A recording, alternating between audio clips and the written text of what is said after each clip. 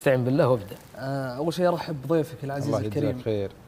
آه، شرف المكان وأرحب. آه، فيك شيخنا وليد. الله يرضى عليك وزملائي المتسابقين أمس كان في نقاش نقاش بيني وبين الشيخ وليد بعد فقرة بساتين عن موضوع الحلقة ووصلنا إلى عنوان بيت النبوة. نتكلم فيه إن شاء الله تعالى عن النبي صلى الله عليه وسلم حاله في بيته ومع أهله وأطفاله.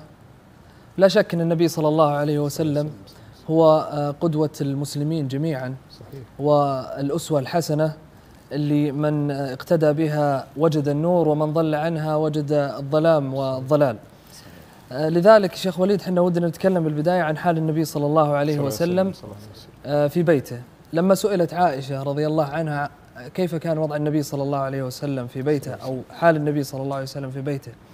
فذكرت أنه كان بشرا من البشر. سلام كان آه، يفلي ثوبه ويحلب شاته ويخدم نفسه. الله.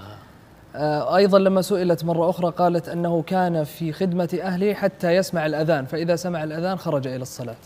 الله. ولما سئل آه، سئلت عائشة أيضا لأن عائشة هي لا شك أنها من أمهات المؤمنين ومن أحب زوجات النبي صلى الله عليه وسلم له. لما سئل النبي صلى الله عليه وسلم من أحب الرجال إليك قال أبو بكر أو قال من أحب الناس إليك؟ قال عائشة ثم آه، ثم سئل عن من أحب الرجال إليك؟ قال أبوها.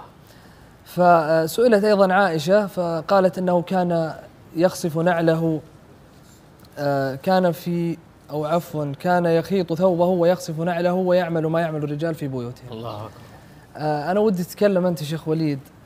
لا شك أننا إحنا نستزيد من علمك لا ما عندنا شيء. ونستفيد من اللي عندك. نستفيد من بعض. لذلك ودنا كل يدلي بدلوه إي لذلك أنا آه، الآن أحول الكلام لك يا شيخ وليد. ودنا نتكلم عن وضع النبي صلى الله عليه وسلم في بيته ثم ننتقل إلى وضعه مع أبنائه. لكن في البداية ودنا نتكلم عن وضعه في بيته.